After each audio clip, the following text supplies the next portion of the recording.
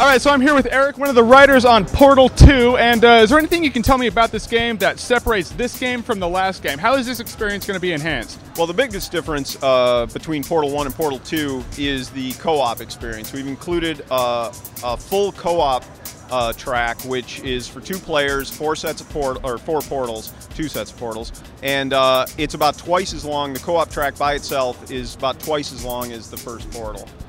And this and the uh, single player track is single player track. There's obviously still a single player campaign that is also about twice as long as Portal, but they're two separate tracks. There's no uh, different story, different puzzles, uh, completely different sets of uh, puzzles. All right, so effectively, it's about four times longer than the first Portal. Yeah, about four times as long.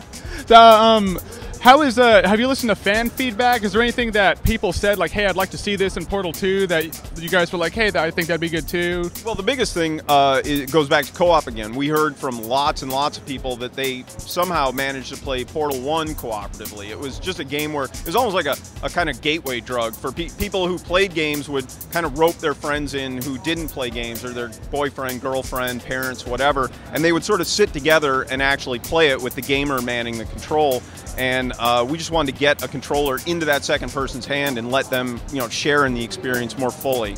So hopefully your friend actually has a brain too. Um, when can we expect this game to be released? It'll be out uh, February 9th, 2011 on PC, Mac, Xbox 360, and the PS3. Covering the whole board. Yep. All right, man. Thanks a lot for your time. I really appreciate it.